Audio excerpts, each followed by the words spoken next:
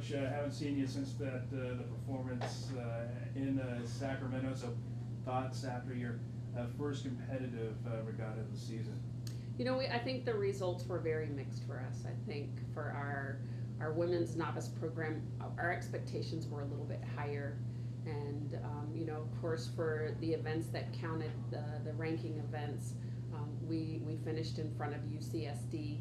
Um, and I know in talking with uh, Colin Truex from UCSD, they were very disappointed in their performance.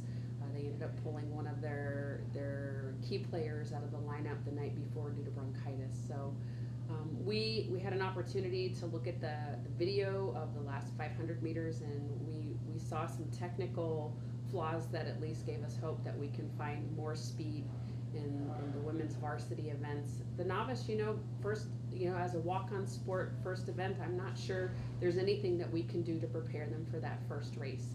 And the, you know, the competition's pretty stiff at the SAC invite, Division One, Two, and Three across the board, and with uh, Division One going to automatic qualifiers, um, really the bar has been set higher across the board.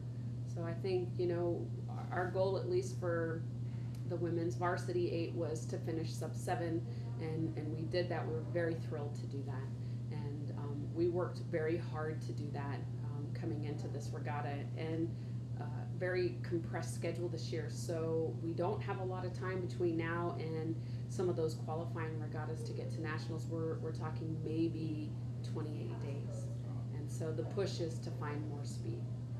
Um, is it new, you guys watching video, your guys' self to improve, or is it something you guys have always used just to kind of see what's working, what's not working? Boy, if we could have video all the time, um, it would it would be like watching game film for other sports. But it's just impossible. We're just lucky enough that one of the student athletes' parents um, brought out his tripod, his camera, and um, was at least able to get those last uh, last 500 meters, which you know is, is is giving us a general idea of of, of what's been going on for the prior 1500 meters.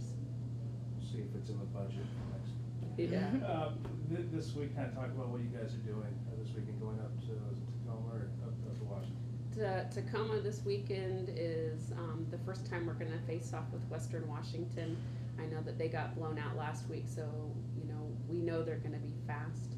And um, you know this week was really about uh, working on some of those technical flaws, um, but we've had a, a bit of a hiccup in our ability to be on the water this week. Uh, there's uh, construction that's happening outside of the boathouse, which doesn't allow us to take our equipment in or out and uh, so we are on land-based training this week. So it's uh, it's not how I foresaw going into this big um, match with Western Washington. Um, we were really looking forward to just really focusing on some good technique, and that's now it's going to have to wait and um, and just really hope for the best that you know the, the types of training that we're doing on land at least will help us gain a little bit of speed.